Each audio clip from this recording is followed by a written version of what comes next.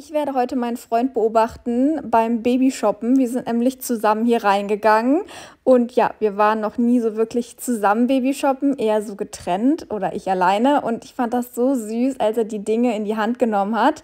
Ja, da waren wir auch noch mal in einer anderen Abteilung, die bräuchte ich eigentlich auch mal.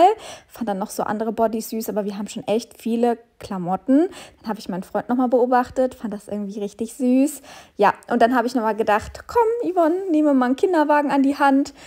Ich finde, das steht mir schon sehr gut. Ja, und hier sind total süße Dinge. Babyfon mit Kamera habe ich aber auch schon alles besorgt. Hier waren noch so ein paar Kuscheltierchen, ein paar Lampen, Wahlform und dann hier noch so eine Lampe.